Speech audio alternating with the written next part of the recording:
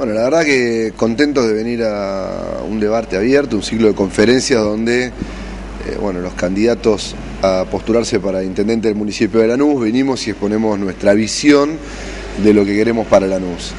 Contento porque es un debate abierto, eh, con estudiantes eh, que pueden preguntar con total libertad y uno contestar y creo que se va a desarrollar, estamos pronto a ingresar una muy buena interrelación. ¿no?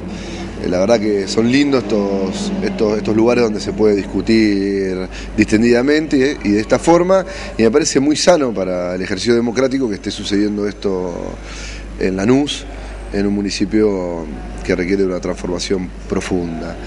Y, y, sí, en el marco de eso vamos a presentar nuestro plan de gestión, que lo hicimos en abril de este año, un plan de gestión que estuvimos diseñando durante dos años y que trata las principales problemáticas del distrito, ¿no?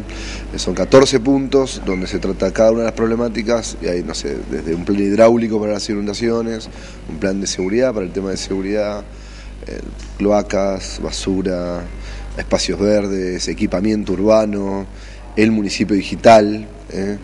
la infraestructura municipal, etcétera, y que creo que es una de las cuestiones centrales porque junto con este debate por ejemplo, este tipo de debates, estar hablando de la planificación sobre la gestión, de una u otra forma hace que la dirigencia política del distrito se ponga a planificar y a generar consensos para el futuro de Lanús, ¿no?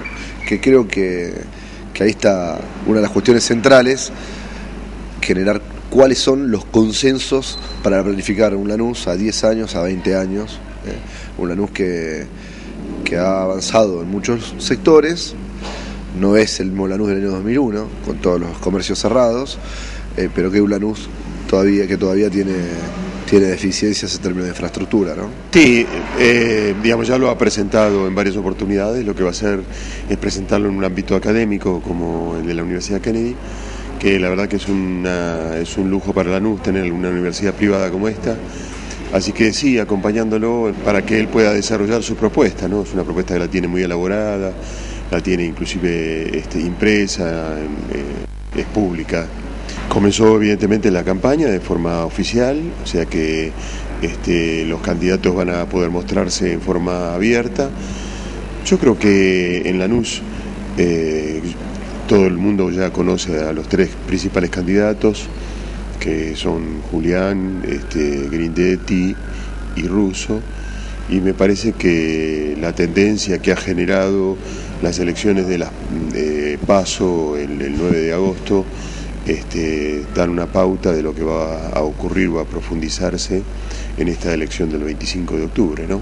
Yo creo que fundamentalmente lo que hay que hacer es este, tratar de obtener una identificación más clara de los tres proyectos que se presentan a nivel nacional, provincial y local.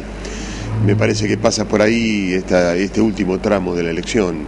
Este, Estoy convencido que la elección se va a nacionalizar, que va a haber una, definición fundamentalmente por las candidaturas nacionales y lo que hay que hacer es este, lograr eh, alinearse, identificarse con esa propuesta nacional provincial desde lo local.